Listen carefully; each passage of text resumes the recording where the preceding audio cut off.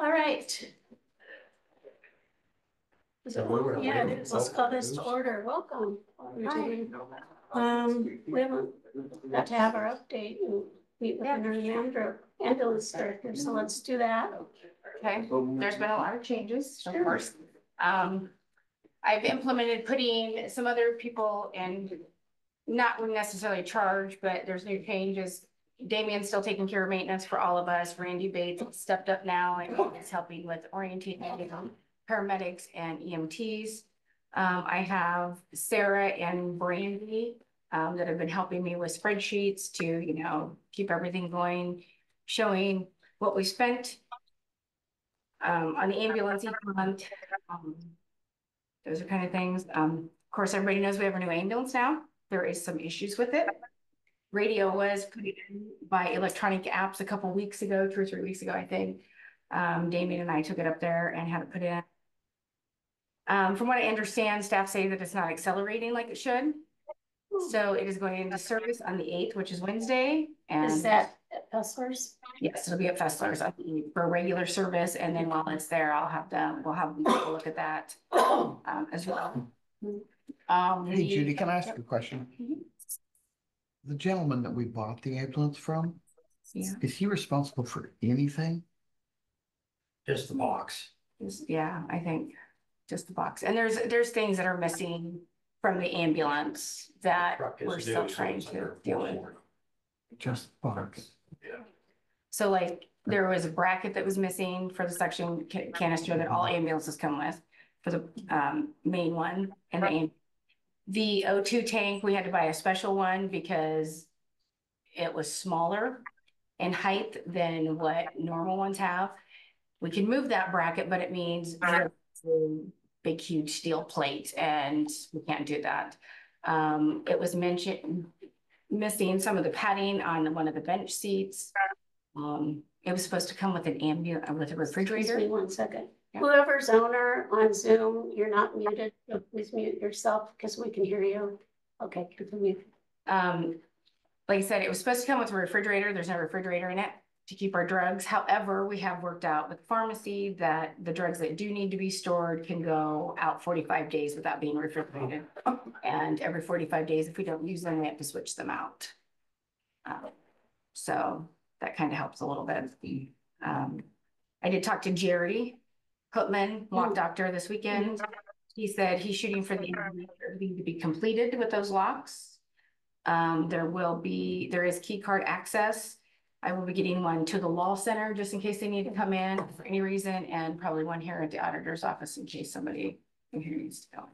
All the employees will have assigned cards that I would have access to.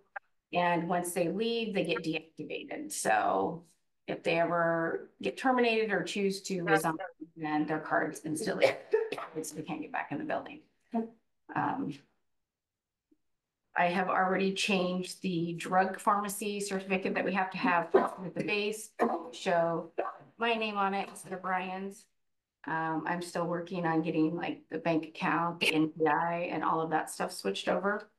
I'm working with the billing company directly on that. Um, Sit back up, say that again, quick start. Working. uh, the CSA drug, No, no, no, Certificate. something about When you look at. It's an NPI. The yeah, the NPI. NPI number, it has to be switched from Brian's name to mine. Okay. Um, and we're working with the billing company on trying to get that done. Um, going, changing, taking his name off the bank account, those are things that are still in progress that we're getting to slowly. Um, still gotta get with Jacob Dodds to get all that stuff changed. I have uh-huh. paperwork that you uh-huh. said that he was gonna send to me. I haven't received that yet. Um, So then on top of that, besides working with the billing company, I see that you, I gave you all a printout of what is been built out so far and what the total amount is for all insurance, patient bills, Medicare, Medicaid. Though that total there is before the contractual agreement, meaning that whatever Medicare and Medicaid pay, there's a contractual agreement, that is the amount before they pay. So that's, that's what we've billed, that's our agreement with them. whatever, you know, Medicare only pays a certain amount, Medicaid the same thing. Um, the hundred and twenty-one to hundred and eighty days Lee had asked about, that top one that says bill of patient, those are collection, the collection status. As of right now, there are a few of them that are not, and I'm working directly with Cheyenne at the billing company to find out why they're not already uh the collection status, because these are ones that are clear back in like November, December, that should be their patient refusal. Um, the forty-nine thousand, that's the insurance one. I'm still working directly with Cheyenne on that one. There are a couple of them that are in collection status. However, the other ones are all the ones that are pretty much before our Medicare and Medicaid was approved back on December thirteenth of twenty-three. Um, we have three times that we can con, you know, appeal our denial with Medicare and Medicaid. We've gotten one denial so far. Cheyenne is working again to figure out to resubmit it and find out why they're denying it, because from what I understand, when Brian started this, when he talked to Medicare, Medicaid, it was a year out that they would backdate. Mhm. We're still trying to find out. Cheyenne wasn't sure if it was that far out. It would, she was thinking possibly six to three months. But she's working very diligently to get that taken care of. So that's what that forty-two thousand, forty-nine thousand dollar amount is there. Um, already so far this month, just in the last few days, we've had like seven thousand dollars that was just deposited. I think Mark just took out eleven grand and left the bank account still at five thousand. Um. We're getting less and less checks that are coming directly to us from insurance company. Companies, so I don't have to like take checks over there, but Wellmark, Blue Cross Blue Shield, it just depends on what their. Their um agreement is with their patients, whether the check comes to us or gets directly deposited, but. I've been watching that mailbox every day to make sure we get those payments over there as quickly as we can. Um, we have the new system EMS one for everybody to do updates for like their CEUs, continuing education. Um, besides the ones that they regularly have to have, the ACLS, PALS, um, CPR, the ones that they have to have Those are new each ones. year or every two years. These are extra hours that they can use to help recert them. They have to have, I think it's what, sixty for paramedics and one D, 24. twenty-four for EMTs every two years. So this helps them get that. And with this system that we chose to go with, it'll directly take whatever they do, classes they do, and it'll automatically attach it to their um, national registry. So they don't have to keep a folder. It automatically calculates the hours and keeps track of it for them. So you got that. Um, I'm still working on the bloodborne pathogen. Um. Generalization guide for the safety board. It's still in draft form. Um, Brian turned that over to me and I'm trying to. Work on that as well. I have two new hires. One started the 29th. That was Kyle. He's on truck right now on a transfer. He's paramedic and Chance Crandall will be starting his first orientation shift on the tenth, which is Friday.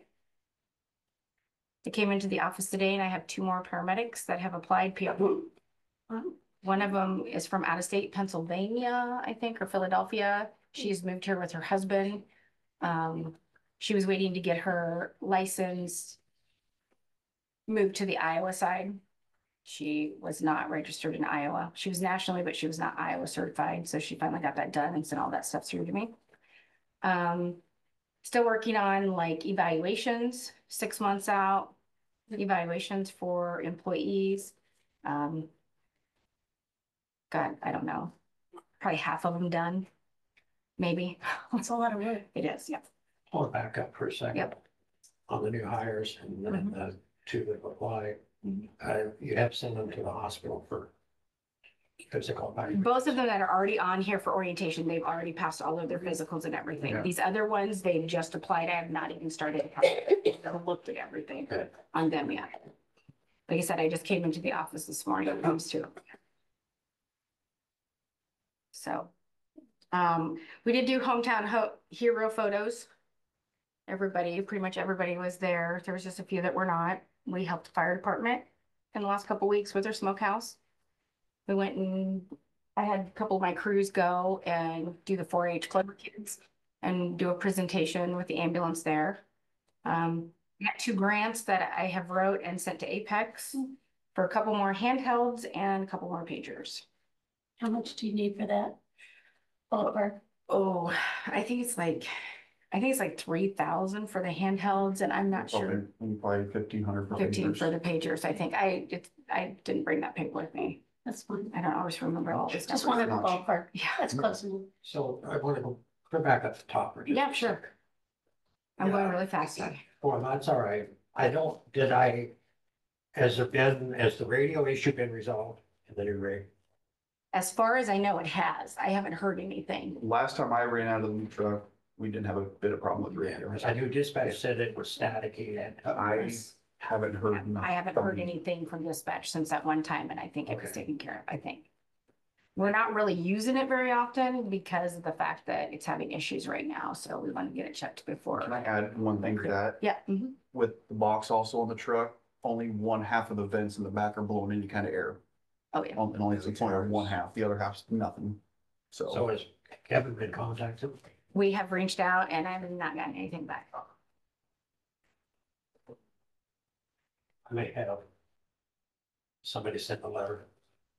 That might be nice. So, um.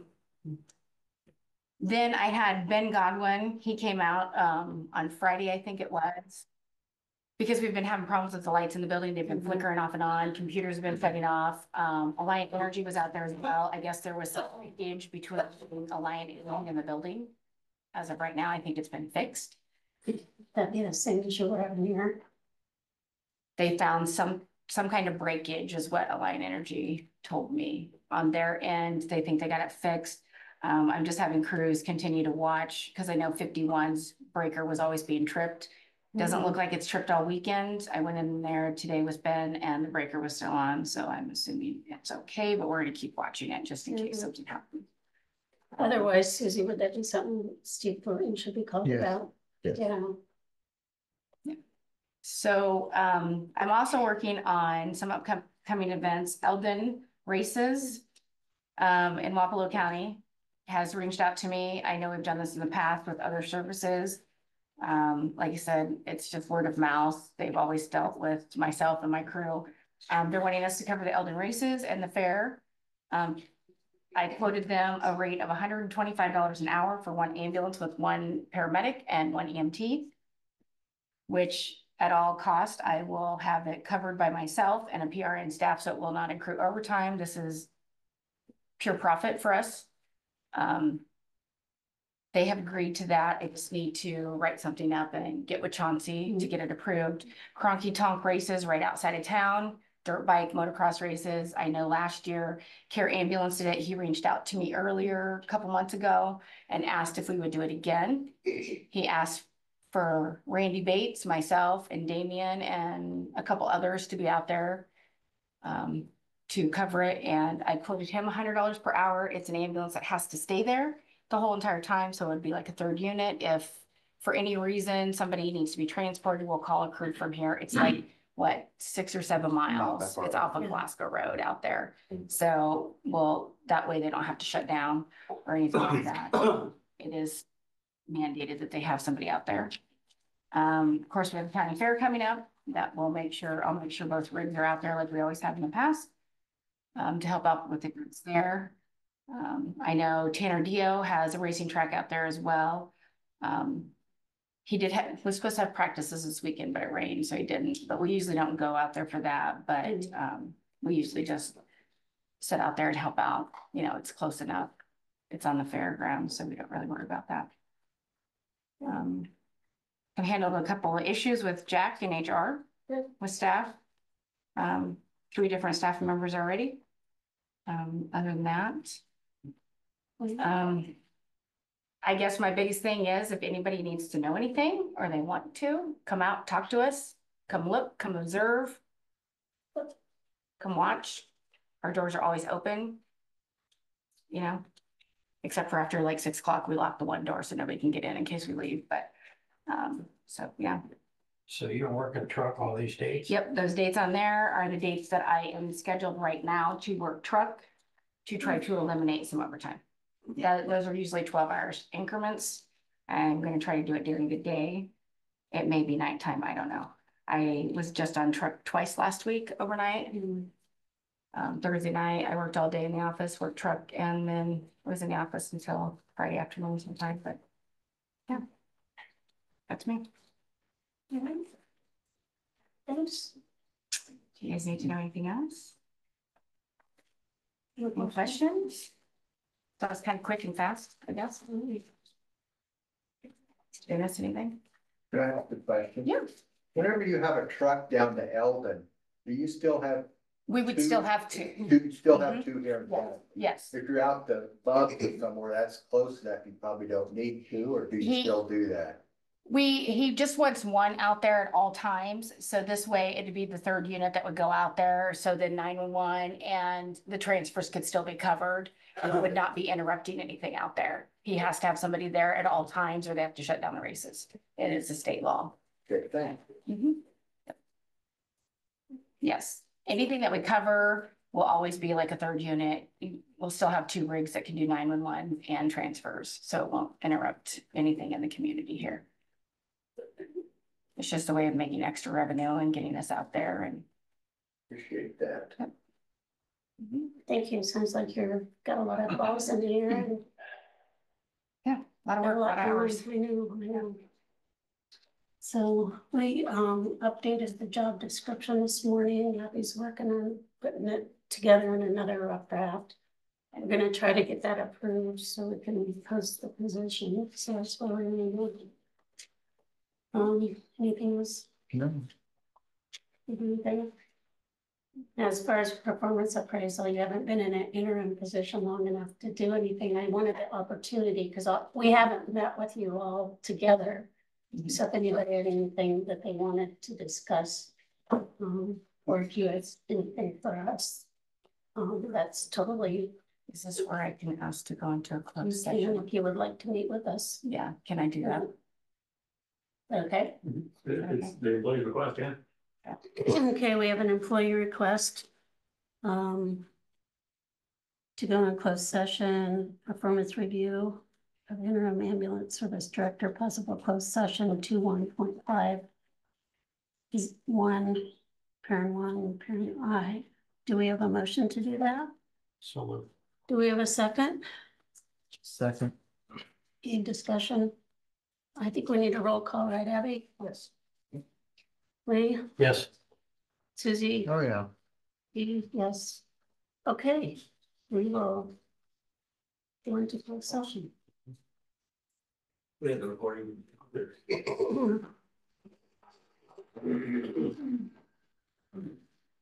All right, We'll get it put in the room. Okay, can I have my staff members stay in for just the first part of it, please? If that's okay. if you'd like, it's That's it, fine with us. Yep. I think they need to be able to talk.